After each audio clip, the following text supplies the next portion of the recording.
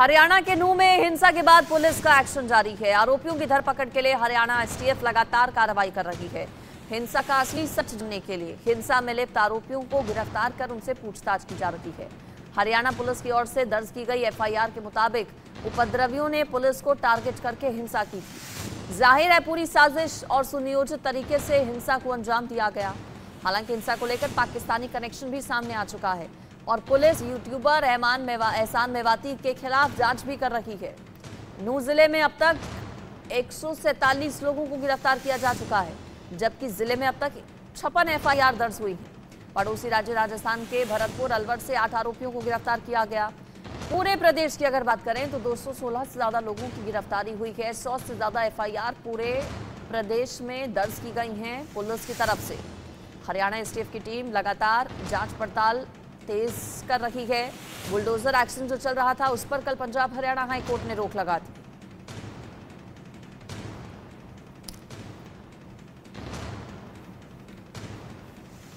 पर आ, एक शख्स की पहचान हुई है।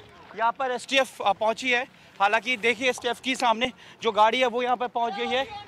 यहाँ पर एसटीएफ की जो कार्रवाई चल रही है ये देखिए एसटीएफ की जो कार्रवाई चल रही है और यहाँ पर पहचान की गई है। पुलिस अपने नेटवर्क सर्विलांस से टेक्निकल सर्विलांस से जो है, वो पुलिस जो है, वो लगातार कोशिश कर रही थी और आखिर कामयाबी मिली है, बताया गया है। और यहाँ जो एक हॉस्पिटल है बगल में, वहाँ से लेकर आए हैं, देखिए, एक शख्स को यहाँ से किया गया ये देखिए आइडेंटिफाई किया गया है।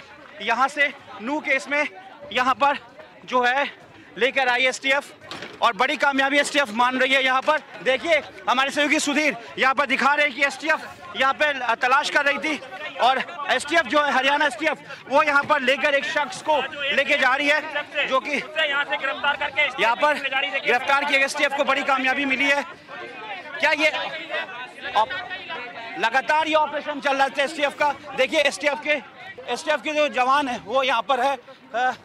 यहाँ पर लगातार ऑपरेशन चल रहा है एसटीएफ का और एक कामयाबी मानी जा रही है, क्योंकि टेक्निकल सर्विलांस के बेस पर जो है, वो यहाँ पर चल रही थी और यहाँ से जो एसटीएफ है, वो इस वक्त लेके जा रही है यहाँ पर। देखिए एसटीएफ एसटीएफ लेके जा रही है, यहाँ से एक शख्स की पहचान हुई है, यहाँ से एक ऑपरेशन चल रहा था, पिछले एक घंटे से ऑपरेशन चल रहा था।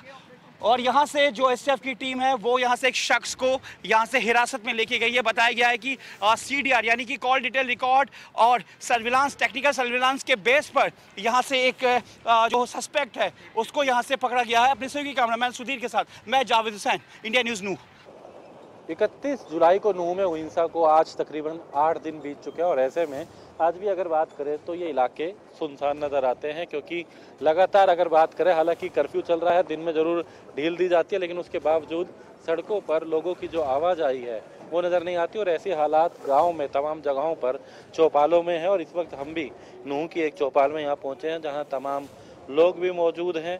हालाँकि बात करें, जिस तरीके से आज आठ दिन हो चुके हैं, सोमवार को ही, पिछले सोमवार की अगर बात करें तो ये पूरी घटना हुई थी।